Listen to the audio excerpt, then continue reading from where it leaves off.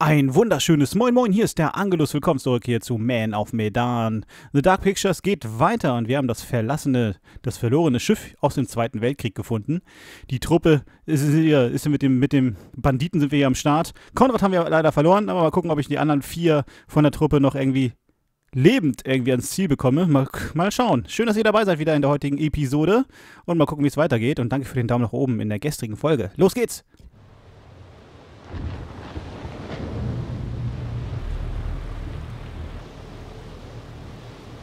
La porte La porte Vite La porte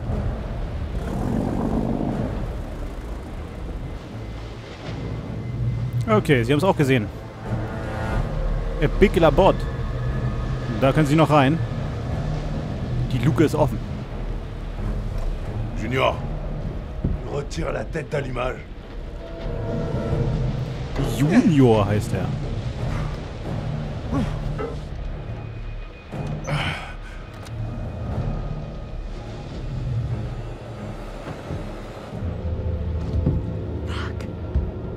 Okay. Ich denke mal, ohne das Ding ist das Boot nicht fahrtüchtig. Los!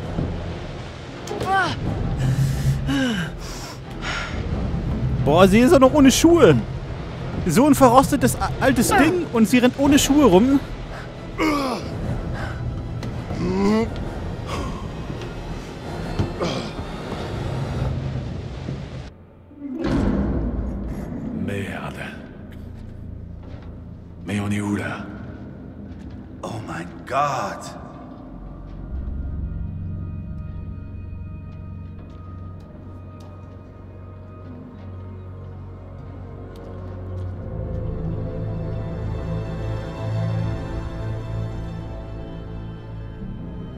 Welch ein Durcheinander. Los, beweg dich! Ja, Il est énorme ce navire. ja, die Schatzkarte hat sich hergeführt. Die Karte mit dem Gold. Aber der Kurator hat gesagt, nicht alles ist Gold, was glänzt. Aber alle. Da drüben. Wir gehen hier barfuß los, ey. Wenn wir auf den Nagel treten oder so, ne? Oder eine Schraube oder so hier im Boden. Bah. Widerlich. Das Ding ist eine schwimmende Todesfalle. Ich stimme dir zu. Das ist ein Friedhof. Los weiter!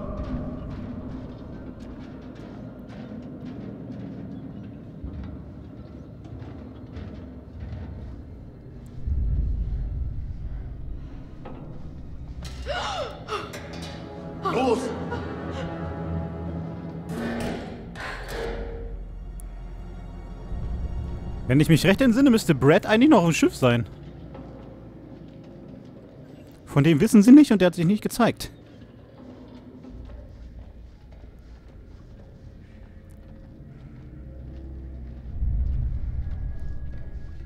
Jetzt sind wir hier wieder in den engen Gängen, wo man wieder keine Kontrolle über die Kamera hat.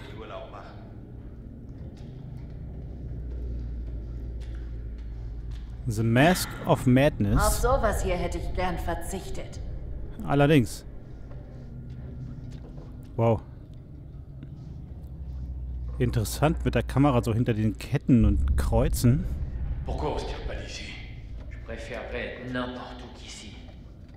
Da leuchtet was. Millers Uniform, die sieht aber noch ganz gut sauber zusammengelegt aus. Was haben die jetzt wohl mit uns vor?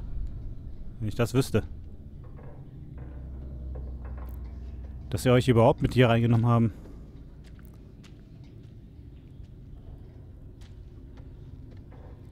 Ist auch immer gut, sich von der Gruppe äh, zu trennen und alleine rumzulaufen. Immer, immer, immer sehr gut. Wobei, da steht ja noch einer.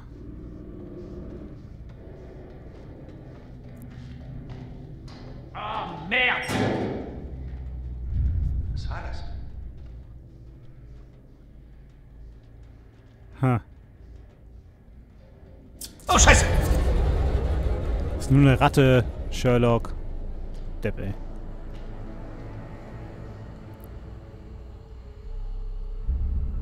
Okay. Was ist das? Internes Memo. 14. Armeedivision. Sie übernehmen morgen äh, Pattersons Wachdienst. Er ist schon wieder krank.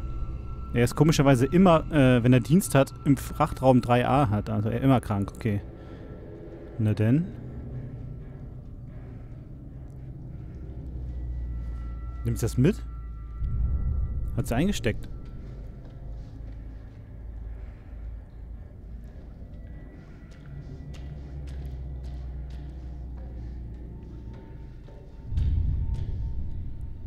Ocean, il y a porte ici. Okay, ihr alle in den Raum. Jetzt werden wir da eingesperrt wahrscheinlich.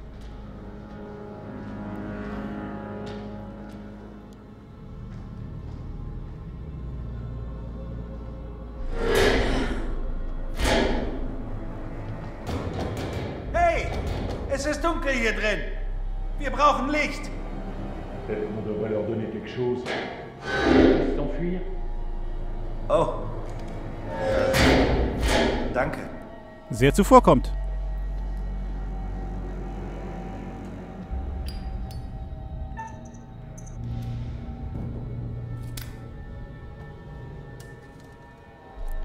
Okay, hier ist schon mal kein Gas, was hier in der Luft rumschwirrt, sonst wären wir jetzt tot.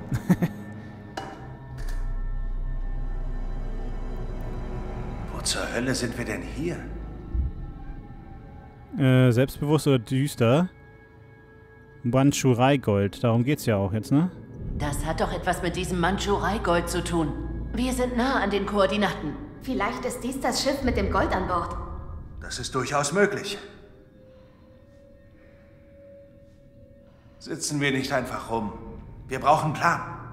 Conrad ist Hilfe holen. Warten wir auf ihn. Conrad ist Hilfe holen? Conrad ist doch voll tot. Wir müssen die Küstenwache rufen. Das geht nicht von der Duke. Wir müssen hier was zum Funken finden. Ich habe Angst um Conrad. Er wurde bei unserem Fluchtversuch verletzt. Ihm geht's gut. Mit Sicherheit. Und was ist der Status der Duke? Ich habe einen der Typen gesehen mit einem Teil vom Boot. Die Verteilerkappe. Teil des Motors. Ohne sie ist die Duke of Milan nur ein Haufen Schrott. Wir brauchen sie zurück. Während diese Typen nach Mandschurei-Gold suchen oder was sie auch meinen, auf diesem schwimmenden Sarg zu finden, sollten wir die Chance nutzen und nach einem Weg hier raussuchen. Fliss, ich wollte nur sagen, dass äh, das vorhin war wohl ein Missverständnis. Wie bitte? Ich bin wohl also vielleicht etwas vorschnell zu dem Schluss gekommen, dass du irgendeine Art Abmachung mit diesen Typen hattest, aber ich meine, das stimmt ja eindeutig nicht. Die sind ja genauso fies zu dir wie zu uns, also ja. Ich übersetze das mal. Er sagt Entschuldigung. Nun, ich. Deine Entschuldigung ist akzeptiert. Cool. Cool. Cool. okay, hier sind viele, viele Sachen am Blinken. Könnte Con Conrad wirklich noch leben? Äh, die haben gesehen, also die haben nicht richtig gesehen, dass er heftig angeschossen wurde. Aber der Kurator hat doch auch gesagt, es ist vorbei, oder? Mit dem? Wenn der noch wieder auftaucht, ey? Ich weiß nicht. Dann hat er mehr als Glück gehabt. Ich rechne nicht damit. Okay, ein weiterer Brief. Fräulein Rivera, ich vermisse dich so sehr. Noch drei Monate bis zu meinem nächsten Urlaub und dann schließe ich Alex? dich in meine Arme. Ich habe echt Angst. Drei Monate. Ich hatte mit den anderen Jungs Landgang. Wir haben ein paar Bier getrunken, aber keine Sorge, ich bewahre mir äh, alles für dich auf, wenn du verstehst, was ich meine. Ja. Okay, wie ist die Arbeit? Ich hoffe, dein Chef lässt dich in Ruhe. Naja, einfach nur ein Brief an seine, an seine Süße zu Hause. Natürlich hat er während der Zeit des Krieges keine andere Frau angefasst. Ja, ja, das sagen sie alle.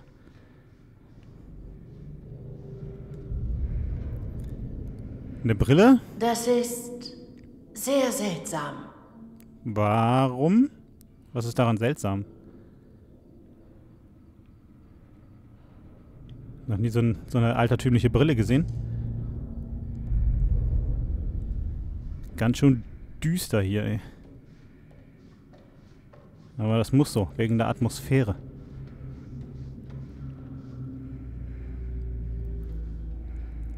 Warte mal, den kann man schieben. Ne, warte, da kann, da kann man hinten dadurch vielleicht durch. Erstmal den ganzen Raum checken, bevor ich da irgendwie Sachen verschiebe. Hey, Hey. ich habe diesen Brief gefunden. Guck mal. Okay. Es gab Gerüchte über Gestalten unten im Frachtraum. Gestalten? Geht's etwas genauer? Besorgt. Fühlt sich falsch an. Lagerkoller. Keine Ahnung. Crews sind oft lange auf See. An Bord ist wenig Platz. Dazu ein Lagerkoller und schon drehen einige durch. Sie gehen aufeinander los. Mann. Und wir sind gerade mal zehn Minuten hier. Hab diese Notiz bei den Kojen gefunden. Da steht, dass dieser Typ, Patterson, wohl immer wieder krank gespielt hat, wenn er da unten im Laderaum Wache schieben sollte. Hm. Ich schätze, das hat er ein paar Mal gemacht. Wie es aussieht, wollte keiner unbedingt da unten sein. So wie ich das vermute, hatte die Crew wirklich Angst vor dem, was auch immer das Schiff an Fracht geladen hatte. Wenn ich nur wüsste, was diese Fischer wollen. Hat er überhaupt zugehört? Er denkt an die Fischer, sie denkt an, an, an das, was früher passiert ist vielleicht. Auf der Duke haben sie etwas von Mandschurei-Gold geredet. Das stimmt. Ich glaube echt, das Ganze hier haben sie erst geplant, als sie von dem Gold gehört haben. Wir müssen sie im Auge behalten. Das hier könnte ganz schön schief gehen, wenn sie nichts finden. Also, was tun wir? So. Das Schiff ist zwar scheiß alt, aber vielleicht gibt's hier ein Funkgerät. Und wo sollen wir suchen? Die Brücke. Auf Deck. Okay. Sobald wir eine Chance kriegen, legen wir los. Hoffentlich funktioniert es noch. Okay, also von hier aus kriegen wir nichts gebacken. Wir müssen uns umsehen und nach einem Ausweg suchen. Gut, sei vorsichtig. Okay, schauen wir mal. Also das mit dem mit den Leuten, das haben sie wirklich spontan entschieden. Die waren ja nur auf dem Schiff, weil, weil sie gesehen haben, dass hier äh, Julia und, und Conrad, dass das so reiche Dudes sind und wollten einfach nur von denen das Geld haben. Und das mit dem Gold haben sie ja wirklich in erster danach erfahren. Okay, was haben wir denn hier? Äh, SS? Ein Hund. Das Schiffsmaskottchen steht, okay. Hm. SS ist wahrscheinlich der, der Schiffsname, der da stehen sollte, oder? Ach, ich dachte, hier kann man mit ihr reden. Das ist wieder nur der Brief. Mit Julia kann man nicht quatschen. Und hier ist nur die Brille. Warum, wenn man die einmal geguckt hat, würde ich gerne gut finden, wenn das äh, Leuchten weg wäre. Äh, was soll ich mit der Brille? Gut, dann schieben wir hier mal äh, das Ding beiseite.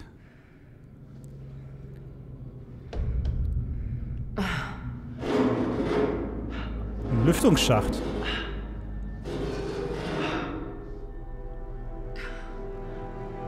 Hey, hier, guck doch mal. Ja, Alex. Nun guck.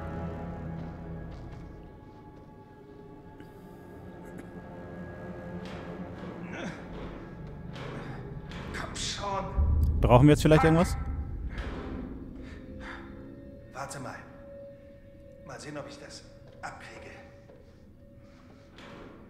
Ja, ja mach mal.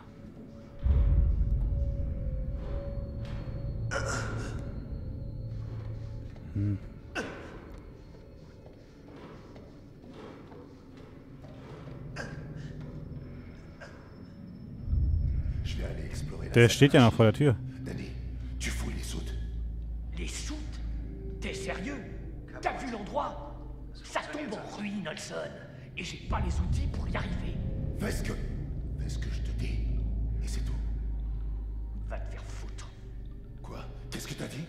Rien. Trop du cul. Arrêtez, arrêtez ça. Ta gueule, Junior. Tu restes ici et tu surveilles les prisonniers. Prisonnier On est en prison? Charmant. On sera bientôt riche si vous la fermez. Et si vous faites ce que je vous dis de faire. Il y a quelque chose qui cloche ici. Suis Okay, die wollen ihre Frachträume noch durchsuchen. Aber Junior soll hier die Leute ein wenig im Blick behalten. Ja, Alex, was ist denn nun? Hast du nicht Was auf? denkst du? Ich kriege ihn nicht auf. Hier drüben.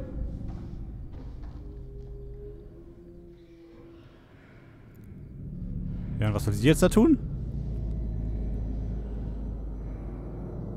Vielleicht können wir ihn aufbiegen und abhauen.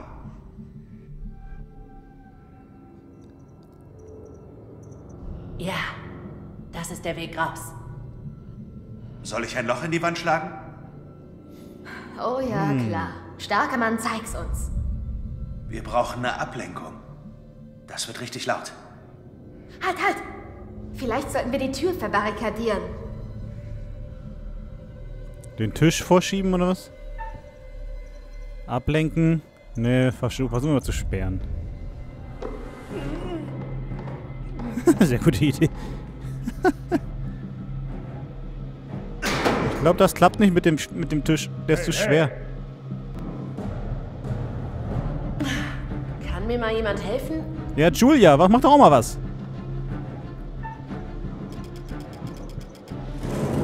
Ah, geht doch.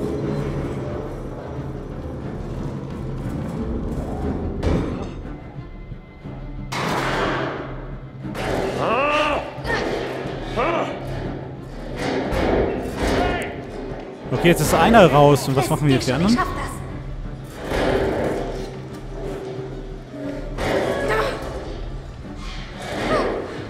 Lauf, lauf. Enfuis Ah Tja, Junior, jetzt guckst du aber.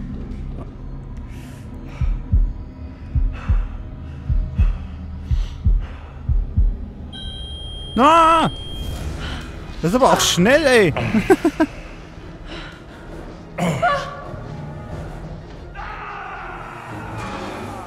Was schreit er denn jetzt so? Okay, die, jetzt sind wir getrennt worden.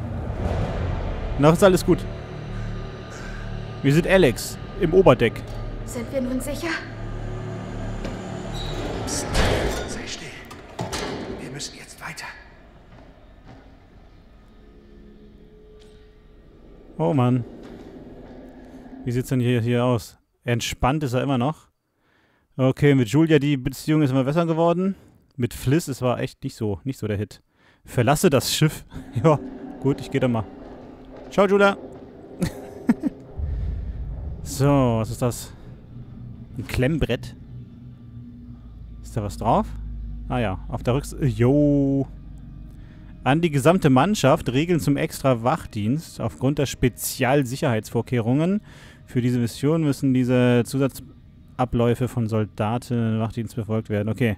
Doppelten Wachposten an allen Türen und auf den Rundgängen. Keine Gespräche, keine Ablenkung, keine Zigaretten und kein Alkohol und keine Spiele. Wie langweilig. Ups. Es geht noch weiter, ne? Hey. Ich kann hier nach unten scrollen. Sobald ich hier das Ding loslasse. Das geht doch noch weiter runter. Kompliziert das Ding. So. Du musst den rechten Stick nach rechts halten, damit du das Ding überhaupt umdrehen kannst. Und wenn du dann versuchst, das nach unten mit dem rechten Stick zu gehen, um da vielleicht runter zu scrollen, dann dreht er dann schon die Hand weg.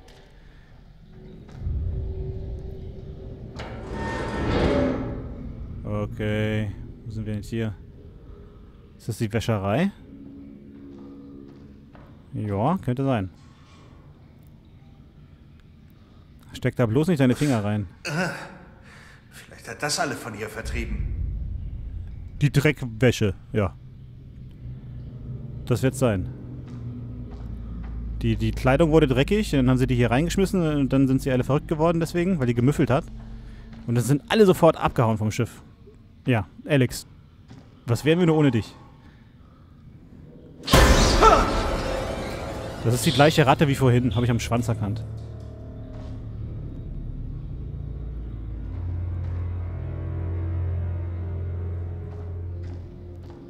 Ah, warte, ich kann noch mal reingucken. Vielleicht ist da noch eine Ratte drin.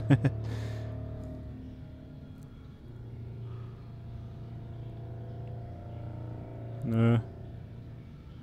Auch nur wieder dreckige Buchsen.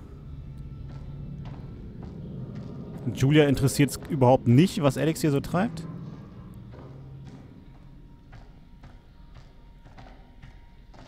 Die ist einfach irgendwo hier hingegangen und sagt nichts mehr. Da, da hinten steht sie. Es ist echt seltsam, dass alle einfach weg sind. Als wären die alle mittendrin weggeschnappt worden, was sie auch gerade taten. Das ist nicht möglich, oder? Genau. Guck mal, der, der Dunst, der über den Boden da noch geht, ey. Hier ist eine Karte vom Schiff.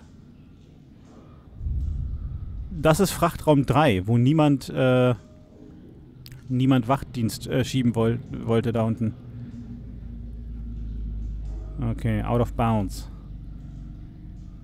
Frachtraum 2 ist out of bounds. Okay. Das Bild war locker, ich weiß nicht.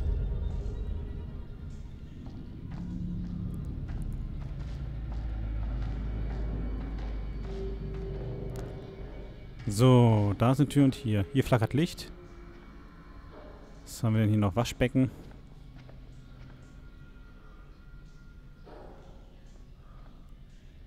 Gibt es hier nichts zu finden? Hä? Wo bin ich jetzt?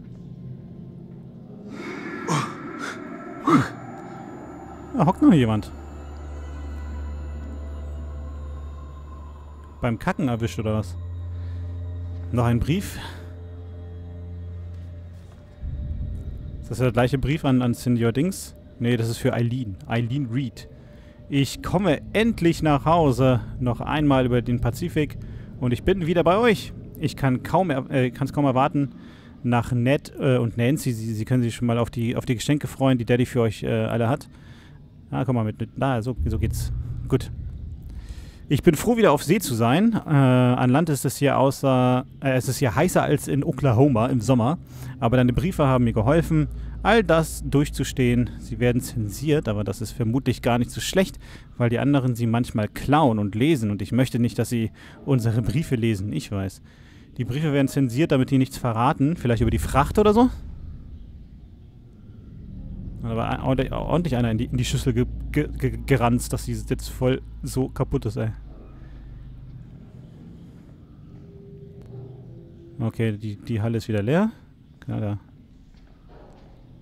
Ha.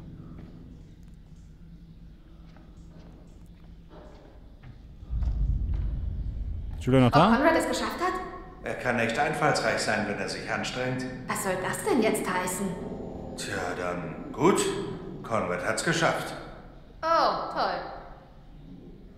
Ich weiß nicht, ob Conrad das geschafft hat, ey.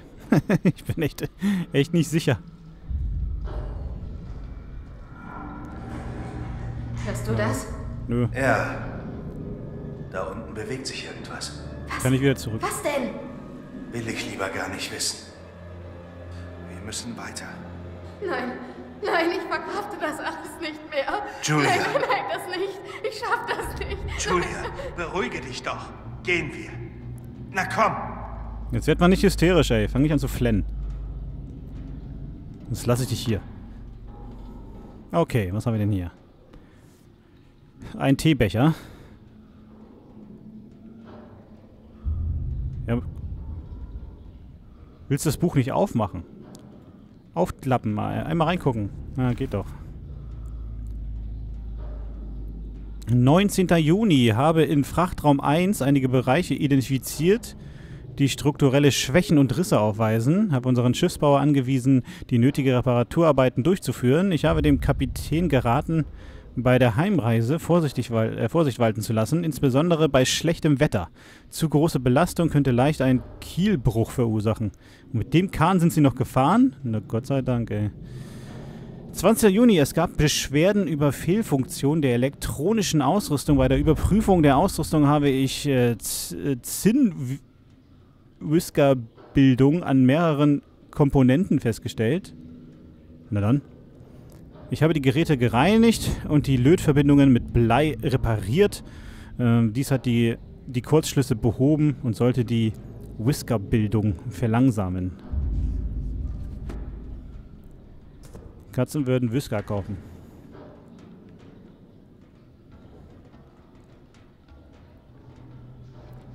Okay, also, Was haben Sie wohl mit Fliss gemacht? Wer weiß, bei den Arschlöchern? Sie ist ein zähes Ding. Ja, das könnte ihr noch mehr Ärger einbrocken. ich glaube nicht. Ja, vielleicht. Ich hoffe, sie bleibt cool. Die passt schon auf sich auf. Vielleicht sind alle in einem Frachtraum wegen der Überraschungsparty. Ja. Was sollen denn immer solche Bemerkungen, ey? Überraschungsparty. Hier haben sie ge ge gepokert, gewürfelt. Dominosteinchen. Komm schon, da liegt doch was. Was ist das denn? Nee, ist das eine zerknüllte Notiz? Nee, das ist... Ach so, das ist ein Rattenkopf.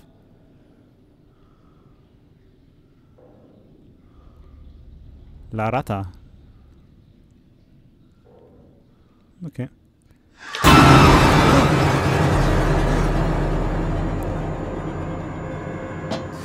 Du drehst langsam durch, Mann. Ja, Reiß du dich hast echt, echt einen Schaden. Denkt da schon, es kommen da Hände aus, aus dem Boden. Oder aus der... Also wenn ich normal nehme, kommt die Hand nochmal raus. Komm schon. Wir provozieren die Hand. Eiskaltes Händchen wie bei... Ha! Siehst du, es kommt nämlich keine. Verarscht hat die mich.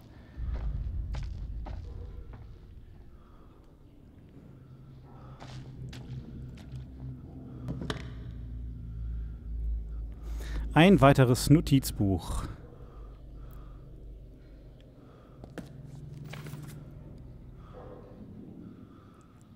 Donnerstag der 12. Der Kapitän hat den Alkohol für die ganze verdammte Reise verboten. Es gibt kaum etwas, was einer so äh, die Stille auf diesem Schiff äh, hören lässt, wie kein Alkohol. Die beiden Blödmänner Wilson und Anderson haben sich direkt nach dem Ablegen in die, in die Wolle gekriegt. Aber der alte Ferry hat das Ganze schnell beendet und seitdem ist es hier so ruhig wie äh, in einem Gotteshaus. Das waren die beiden, die auf, auf dem Deck sich geprügelt haben. Wilson und Anderson, also Joe und, und, und Charlie.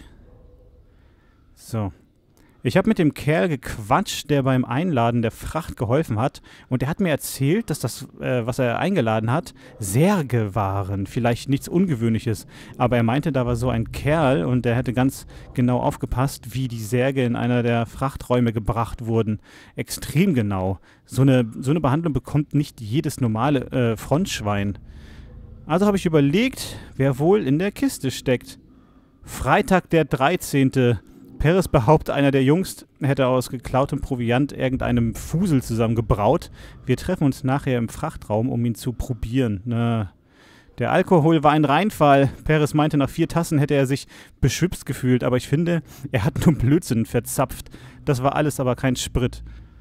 Okay, Samstag der 14. Hab gehört, einer der Jungs hat sich, äh, hat sich da reingeschli reingeschlichen, wo die Kisten stehen.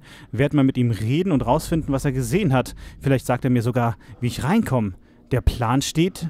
Er meint, er kann mich äh, reinschmuggeln. Wir sehen uns heute Nacht. Gut. Also, das Boot hier ist vom Zweiten Weltkrieg. Dass die Särge mit nach Hause nehmen, ist ja nichts Ungewöhnliches, wenn Leute da im, in, äh, an der Front fallen, dass sie die wieder nach Hause mitbringen, die, die sie noch äh, bergen konnten, die Leichen, um sie zu ihren Familien zu bringen, ein anständiges Begräbnis und sowas. Das ist ja völlig normal. Ähm, ob da jetzt aber wirklich Leichen drin waren in den Särgen oder, oder was anderes, das werden wir herausfinden. Und damit geht es weiter in der nächsten Folge von Man of Medan. Heute nicht so viel passiert, aber wir wurden getrennt von Fliss. Es kam ja aus den Tischen eine Hand raus, die war aber nicht echt, weil das sowas gibt es ja gar nicht. also, ich hoffe, euch hat es heute ein wenig gefallen. Lasst einen Daumen nach oben da und bis zur nächsten Folge. Macht's gut. Ciao, ciao.